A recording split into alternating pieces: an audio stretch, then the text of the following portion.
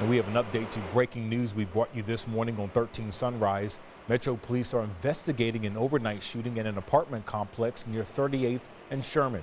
Police were called to the Avondale Apartments, Meadow Apartments, excuse me, around 1.30 this morning. When they arrived, they found a person outside who was shot.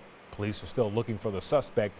If you have any information, you're asked to give Crime Stoppers a call at 317 262 TIPS.